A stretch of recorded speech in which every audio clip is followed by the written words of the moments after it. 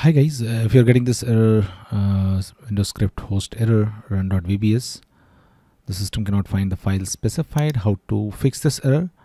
So first of all, you have to open Notepad in your Windows computer.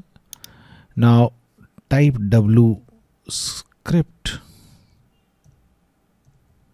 dot quit. Okay. Now choose file and choose save as save as type all files just select all files from save as type and name this startup check dot vbs okay. Now save this file in c windows and system 32 okay